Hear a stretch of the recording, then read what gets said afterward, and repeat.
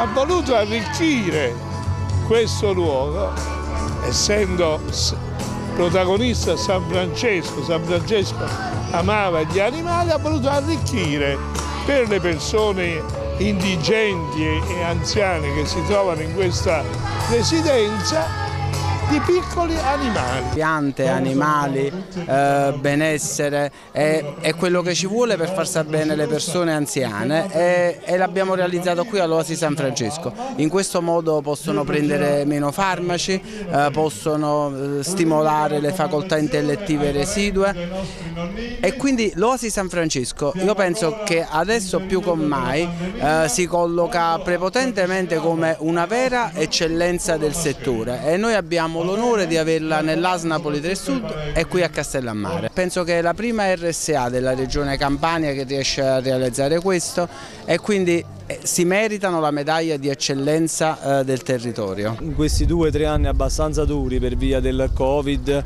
si è intensificato ancora di più il rapporto proprio perché si è vista la collaborazione reciproca nell'affrontare il problema e risolvere, cioè nell'andare verso lo stesso obiettivo, nella stessa direzione e questo ha fortificato ancora di più eh, il nostro rapporto con, con Dottore, con l'ASL perché abbiamo eh, avuto poi il successo fortunatamente finalmente oggi di ritrovarci tutti quanti qui insieme.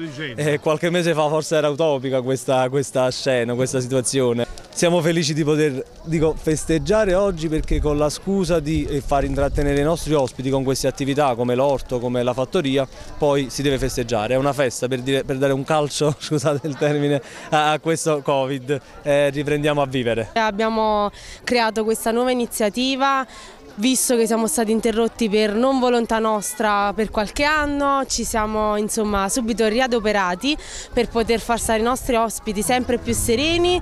E quest'anno abbiamo deciso di fare l'arca di San Francesco, la fattoria, perché come l'anno scorso insomma decidemmo di abbracciare il progetto dell'orto sensoriale, eh, ancora di più con la pet therapy così chiamata si può eh, insomma interagire sempre più e dar eh, modo ai nostri ospiti di poter fare tanta terapia occupazionale. L'oasi di San Francesco si trasforma in arca di San Francesco proprio per dare il significato della massima accoglienza che è la nostra mission quotidiana. Però quest'estate ci siamo voluti superare. Dopo il successo dell'orto sensoriale dell'anno scorso che ha accompagnato i nostri ospiti in questa attività di terapia fisica e cognitiva quest'anno abbiamo portato degli amici un'altra vita. Qua sono tutti animaletti soggetti docili, tutti controllati, registrati, abbiamo avuto tante autorizzazioni, sembra, sembra niente, per, per, per, dare accudimento e per far un attimino impegnare i nostri ospiti tutta l'estate non pensavamo che ci fosse un iter burocratico così importante. Ogni anziano quando era nella, nella, piena giovinezza molti di loro avevano un po' di giardini, un po' degli animali da curare. Abbiamo voluto portare un po' della loro casa è originaria qui all'Oasi perché è l'attuale casa. Sono già tanti anni che collaboriamo ma comunque siamo presenti e vicini a tutte le attività che l'Oasi eh, realizza.